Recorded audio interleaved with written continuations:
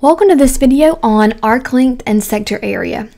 In this lesson, I'll be going over arc length and sector area notes, as well as arc length and sector area application problem notes.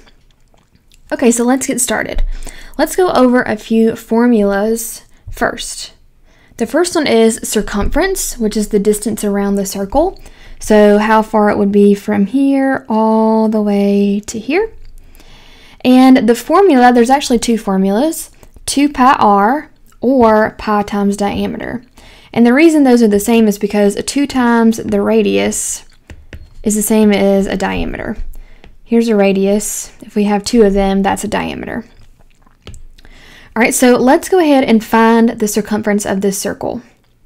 So I have the radius, I'm going to use the top formula, so 2 times pi times 3 which gives us about 6 pi inches.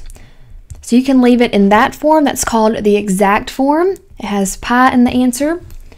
Or you can change it to the rounded form, and that's when you would use your calculator and multiply 6 times pi using the pi button, or 3.14 depending on what your teacher wants, which would give you about 18.8 inches. So these are both the same answer. This one is exact, this one is rounded. All right, so let's talk about arc length. So this is new. You should have learned circumference in middle school, but arc length is probably new to you. So remember an arc is a piece of the outside of the circle, a piece of the circumference. And the formula for arc length is 2 pi r times theta over 360. So I know that I can find the measure of this arc in degrees. It's 100 degrees because this is a central angle. However, you can also measure arcs in length, so like meters. So arcs can be measured in degrees and in distance. So let's find the actual length of this arc from here to here in meters. All right, so 2 pi r, and you probably noticed that's the circumference formula. So 2 pi, my radius is 7. Theta is the central angle.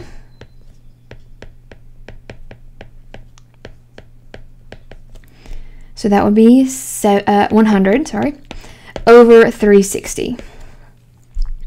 All right, and you can use your calculator to type that in, or you can multiply it individually and reduce the fraction. So 2 times 7 is 14, times 100 is 1400 and then pi over 360. And then you can reduce that fraction to 35 pi over 9 meters. So that's the exact answer. And then you can type it in your calculator and get the rounded answer, which is about 12.2 meters. All right, area of a circle. So you have probably learned this before. Area is the space inside the circle. And the formula for that is pi r squared. So pi 9 squared, which is about 81 pi centimeters squared. Actually, it's exactly 81 pi centimeters squared. Remember, that's our exact answer. And then if you want the rounded answer, it's approximately 254.5 centimeters squared. And I just got that by multiplying 81 times pi in my calculator. And remember, area is always units squared because it's a two-dimensional space, so the units are squared. All right, sector area is new. So remember a sector is a piece of the area. So we don't want to find the whole area, we just want one piece of it. So the formula is pi r squared, which notice that's the area formula. Theta is your central angle over 360. So pi 5 squared times 70 over 360,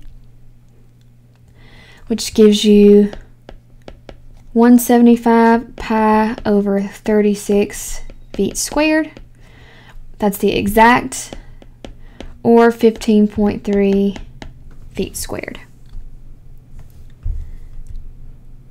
All right, let's talk about what these formulas actually mean. So think about it. What similarities do you see in the formulas and why do these similarities exist? All right, so pause the video now and write down any thoughts you have about that. All right, so we kind of already talked about this, but let's go back to our arc length formula. So within the arc length formula, you see the circumference formula, 2 times pi times r. And then you have this other piece, pi times 360. In fact, sometimes, depending on your formula sheet or your textbook, you may see the formula written like this. 2 pi r times theta over 360. Same thing, it's just separated out. So let's talk about why that works. So remember arc length is just a piece of the whole circumference. So here's the whole circumference. And then this part, the theta over 360 part, tells us the piece that we want, how much of that circumference that we want. Okay, so let's go ahead and start writing down here. So, so we said the circumference formula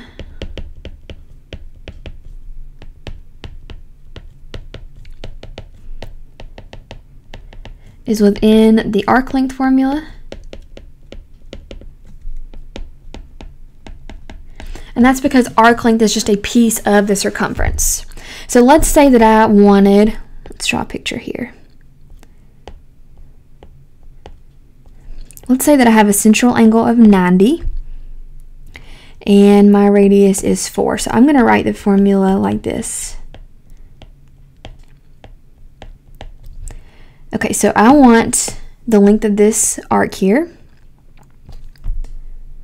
So I want to find the whole circumference first, 2 times pi times r, so 2 times pi times 4, which would be 8 pi. So that's the whole circumference, but I don't want the whole thing. I just want a piece of it. So the piece that I want is theta over 360. My theta is 90 over 360. Now, if you look at the picture that I have, you can tell that it's a fourth of the circle. So we just want one fourth of the whole circumference. And if you reduce 90 over 360, you get one fourth. So really the theta over 360 just tells you how much of the circumference you want.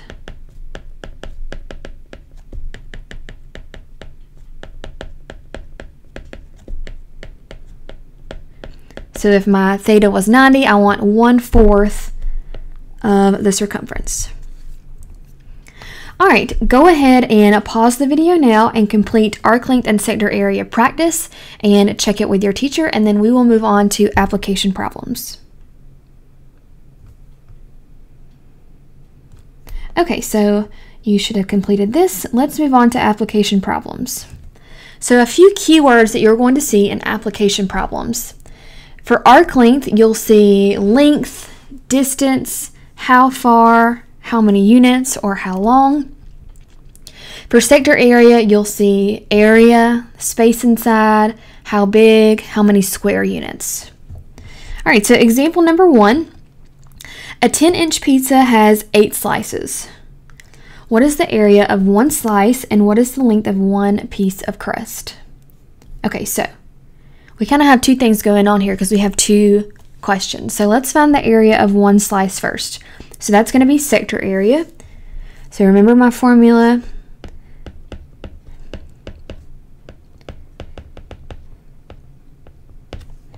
For sector area,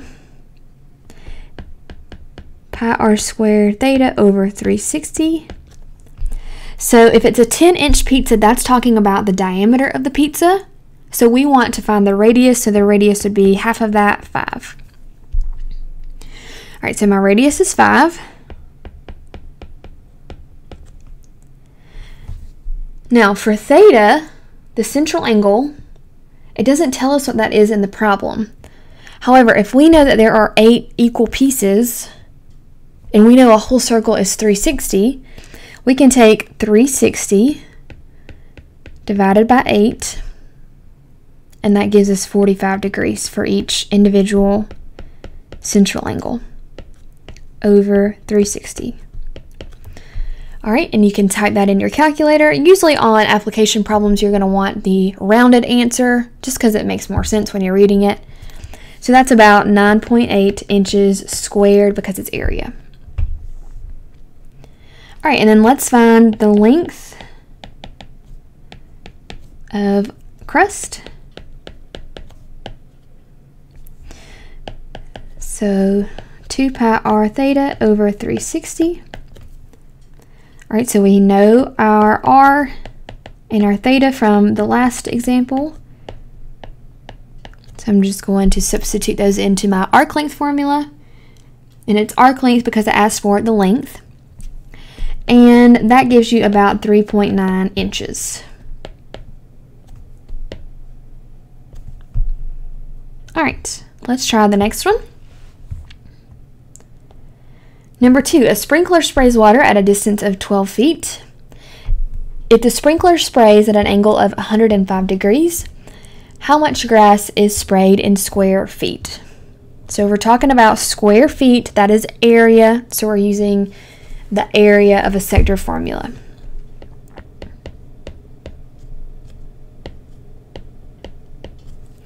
Okay, so we have our angle 105. And then if it's spraying at a distance of 12 feet, okay, let's kind of draw this here. So here's my sprinkler spraying water. All right, so each time it sprays, that's 12 feet. That's going to be my radius. Pi 12 squared. Our angle is 105 over 360. Type that in your calculator and you get 139.9 feet squared.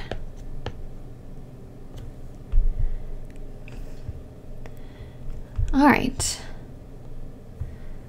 Last example. The Earth has a diameter of 7,917.5 miles. If you traveled halfway around the world in a straight line, how many miles would you have traveled? Okay, so we're talking about distance. How many miles would you have traveled? That would be arc length. Okay, so here's the diameter. We need to divide that in half to find the radius. So I'm just going to divide it in my calculator. And that gives me 3,958.75 miles. And then our theta, if we travel halfway around the world, well, half of a circle is 180 degrees. So 2 pi 3958.75 180 over 360 and that gives me about 12,436.8 miles.